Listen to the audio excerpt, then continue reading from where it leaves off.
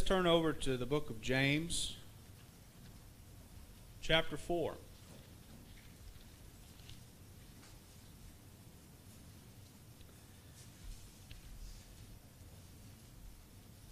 James chapter 4. I'd like for us to spend a few moments talking about verses 6 through 8. James 4, verses 6 through 8. But he giveth more grace, wherefore he saith, God resisteth the proud, but giveth grace unto the humble. Submit yourselves, therefore, to God. Resist the devil, and he will flee from you. Draw nigh to God, and he will draw nigh to you. Cleanse your hands, ye sinners, and purify your hearts, ye double minded. When you think of the idea of drawing nigh to something or even someone, you're approaching that person, that thing. I was drawing nigh to this podium as I walked up here. We are drawing nigh to 1:45 p.m. We're approaching those things. As we move through time, we're approaching 145. As people in general, specifically as Christians, we must draw nigh to God. If we're going to be faithful in this life in the flesh, we must draw nigh to our Creator. We must approach Him.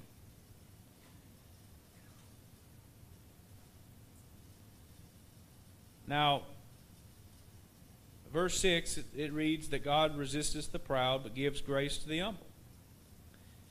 But then it says we must submit yourselves, therefore, to God. Submit is one of those terms nowadays that is a no no word. People are triggered by it.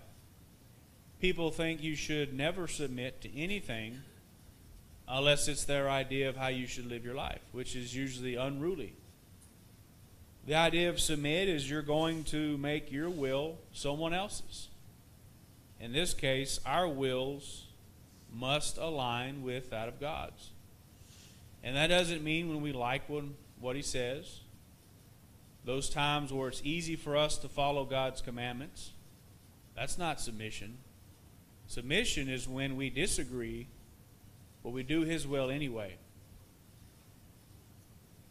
And we don't see that very much anymore because the individual thinks, I want to do what I, or I will do what I want to do, regardless of what someone else tells me. Regardless of whether or not the person who's telling me is right. Or even wanting the best for me. But God ultimately wants the best for us, which is our soul's salvation.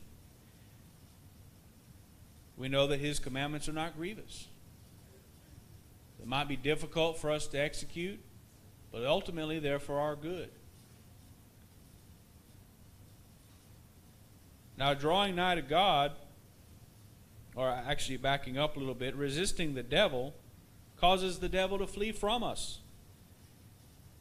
This is what's being talked about in John chapter 7 or 17 verse 15 where Jesus is praying that that God would keep his disciples, specifically apostles, from the evil one. By extension, that's us today. We do that. We are kept from the wicked one, the evil one, Satan, that is, by resisting him. The best way to resist Satan is to give a thus saith the Lord. Whether that is actually saying, Get thou behind me, Satan, you know, I, I find myself sometimes have, slipping up mentally, and I think of I have some bad thought, whatever it might be, or even somebody does something to me in my mind. Get thou behind me, Satan. Sometimes that's directed specifically at myself. That's something I should not be thinking about. Get thou behind me, Satan. Put that thought away from you, whatever that thought might be. Put that action away from you Get thou behind me, Satan. Or following Jesus' example in, in Matthew 4, it is written. We resist Satan by giving, it is written, by Scripture. What does the Bible say on the given issue or subject?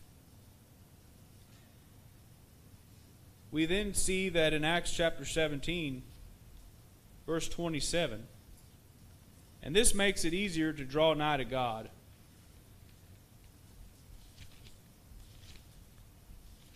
Paul, there on Mars Hill, he's debating with these people.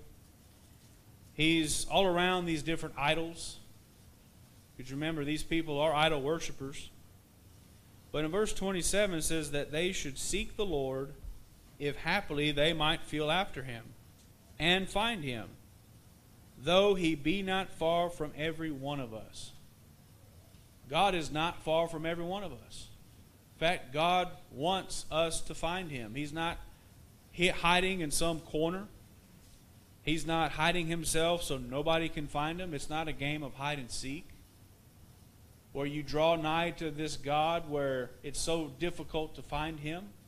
God wants to be found. He wants us to find him. And ultimately, that means finding out his will for us and obeying it, submitting our will to his. The other part of that is our action. We must do the drawing nigh to him as well. He will draw nigh to us. Contrary to that, in Isaiah chapter 59, verses 1 through 4. This should scare every one of us. There's only one thing that will ever be able to keep us out of heaven, and that is our sin. Isaiah 59, the first four verses, says, Behold, the Lord's hand is not shortened, that it cannot save, neither his ear heavy, that it cannot hear. But your iniquities have separated between you and your God, and your sins have hid his face from you, that he will not hear. For your hands are defiled with blood, and your fingers with iniquity. Your lips have spoken lies, your tongue hath muttered, muttered perverseness. None calleth for justice, nor any pleadeth for truth. They trust in vanity and speak lies. They conceive mischief and bring forth iniquity. Again, Isaiah chapter 59, verses 1 through 4. Specifically, verses 3 and 4, does that not sound like where we are as a country? Your hands are defiled with blood.